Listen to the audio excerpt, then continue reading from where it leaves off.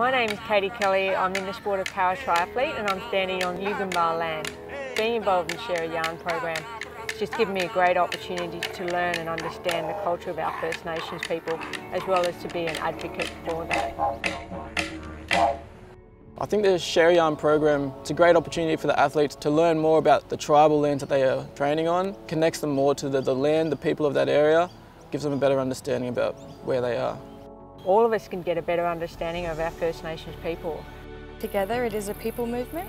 We are one and for our little people this is very important for our future generations.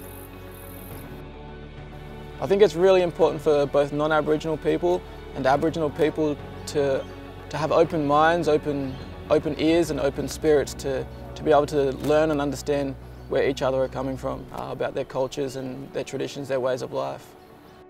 Reconciliation to me is about educating the wider community about our history. And to do that, I guess we need to ask the uncomfortable question.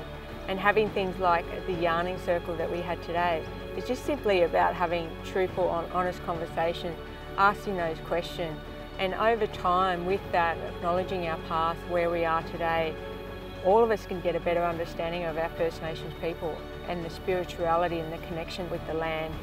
Reconciliation will make us a better and happier country.